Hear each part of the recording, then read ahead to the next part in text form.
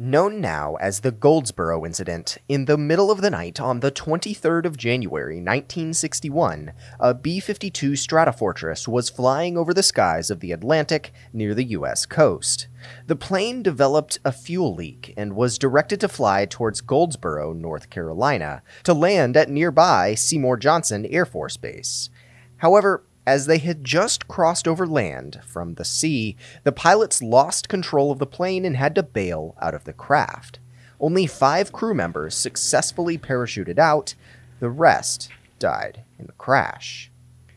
This wasn't an ordinary flight for the B 52 and the crew, though, nor would it be an ordinary crash. On board the plane were two 3.8 megaton thermonuclear bombs. After the crew lost control of the plane and it began falling to the earth, it broke up and the two bombs separated from their attachments in the bays. They fell to the ground over North Carolina.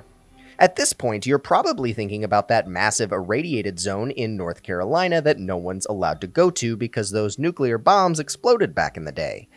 Except that that doesn't exist, as you can probably guess, the bombs never detonated. The morning after the crash, investigators found that one of the bombs had successfully deployed its parachute and the other had fallen into a group of trees.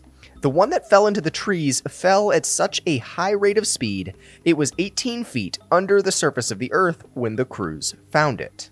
Luckily for everyone in North Carolina, the core of the weapons remained intact and there was no radiation leaking. The military at the time made sure to keep the public calm, but records now indicate that experts were rather concerned that one of the bombs would end up detonating due to accidental arming during the crash. This little tidbit of how close North Carolina came to being nuked wasn't really known until 2013 when author Eric Schlosser acquired documents under the FIA, or the Freedom of Information Act. The documents detailed an alarming fact that five out of the six total safety mechanisms the bomb had on board had become disarmed during the fall and crash. If the last one had unlocked, the bomb likely would have exploded. It was one 1960s era dynamo low voltage switch that kept the bomb from detonating. To give some perspective on how bad this would have been, the bombs that fell in Greensboro were 250 times more powerful than the bomb dropped on Hiroshima.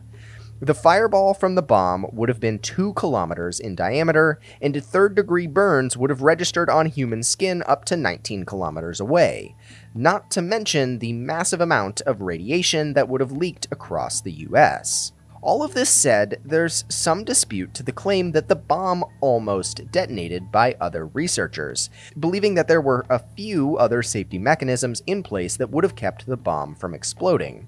A debate can be had about the actual probability, but regardless, two nukes fell from the sky and dropped on North Carolina in 1961. The bomb that landed without a parachute actually broke up into several pieces, with one piece containing a significant amount of enriched uranium, which was never found.